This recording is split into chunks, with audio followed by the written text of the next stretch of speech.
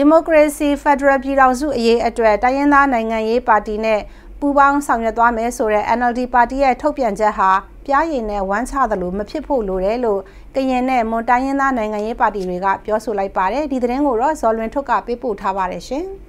အမျိုးသားဒီမိုကရေစီအဖွဲ့ချုပ် NLD ပါတီဟာဒီမိုကရေစီဖက်ဒရယ်ပြည်ထောင်စုအရေးအတွက်တိုင်းသားနိုင်ငံရေးပါတီတွေနဲ့ပူးပေါင်းဆောင်ရွက်သွားမယ်လို့နိုဝင်ဘာ12ရက်နေ့မှာထုတ်ပြန်ခဲ့တာပါ။ အဲဒီထုတ်ပြန်ချက်မှာတော့ဒီမိုကရေစီဖက်ဒရယ်ပြည်ထောင်စုပေါ်ထွန်းရေးအတွက်မမိတ်မတုံကြိုးပမ်းဆောင်ရွက်သွားမယ်လို့ဆိုထားပါတယ်။ NLD ပါတီရဲ့ထုတ်ပြန်ချက်ကိုတိုင်းရင်းသားနိုင်ငံရေးပါတီရဲ့အနေနဲ့ကြိုးဆိုပေမဲ့ပြားရည်နဲ့ဝမ်းချသလိုမဖြစ်ဖို့လိုတယ်လို့ဆိုပါတယ်။ကျွန်တော်တို့ကလည်းဒါစဉ်းစားရတာပေါ့လေ။အဲကျွန်တော်တို့ဒီပြားရည်နဲ့ဝမ်းချနေမှာလား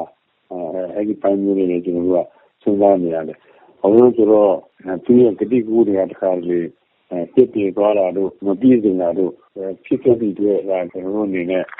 ဒီဥစ္စာကြီးကိုတတိကြီးကြီးကျွန်တော်ချင်းကားမယ်အပိုင်းမျိုးတော့ ရှိတယ် အမျိုးသားဒီမိုကရေစီအဖွဲ့ချုပ် NLD ပါတီက တိုင်းသားတွေနဲ့ ပူးပေါင်းဆောင်ရွက်သွားမယ်လို့ ထုတ်ပြန်ထားပေမဲ့ဒီနေ့အချိန်ထိ တရားဝင်စာပေးပို့လာခြင်း မရှိသေးဘူးလို့ မွန်ညညွေပါတီက ဆိုပါတယ်။ မွန်ညညွေပါတီကတော့အနာဂတ်ဖက်ဒရယ်ပြည်ထောင်စုတည်ဆောက်ရေးအတွက်ပူးပေါင်းဆောင်ရွက်သွားမယ့်နိုင်ငံရေးရည်တည်ချက်သဘောထားစီပြီးသားဖြစ်ပေမဲ့အခုကိစ္စရက်မှာတရားဝင်စာမပေးဖို့သေးလို့ပူးပေါင်းဆောင်ရွက်မယ့်ကိစ္စကိုမဆုံးဖြတ်ရသေးဘူးလို့ဆိုပါတယ်ကျွန်တော်တို့မှာမူလရက်တီချက်တစ်ခုရှိတယ်ကဖက်ဒရယ်ပြည်အောင်စုကိုတည်ဆောက်တဲ့နေရာမှာကျွန်တော်တို့တိုင်းဒေသအင်အားစုတွေနဲ့ဒီမိုကရက်တစ်အင်အားစုတွေနဲ့အားလုံးပူးပေါင်းဆောင်ရွက်မှအနာဂတ်နိုင်ငံတော်ကိုတည်ဆောက်နိုင်မယ်ဆိုတာတော့နိုင်ငံရေးရက်တီချက်သဘောထားရှိပြီးသားပါ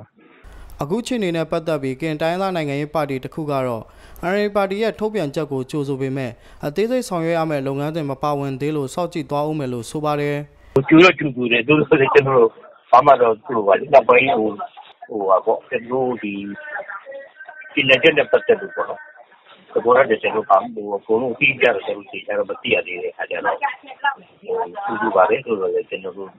ရှိဦးမယ်ပေါ့နော်ကျွန်တော်တို့ဆောက်ပြီးတယ်အခုရွေးကောက်ပွဲမှာတော့တိုင်းသားနိုင်ငံရေးပါတီ48ပါတီမှာ18ပါတီအနိုင်ရရှိထားပါတယ်အဲ့ဒီထဲမှာတော့စမ်းတိုင်းသားများဒီမိုကရေစီအဖွဲ့ချုပ်ပါတီရခိုင်မျိုးသားပါတီမွန်ညွညွေပါတီနဲ့ပလောက်မျိုးသားပါတီတို့ကအများစုအနိုင်ရထားတာပါ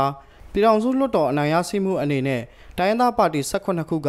ကိုယ်စားလှယ်နေရာ90ထိအနိုင်ရထားပါတယ်ကျွန်တော်ဇော်လွင်ထွတ်ပါ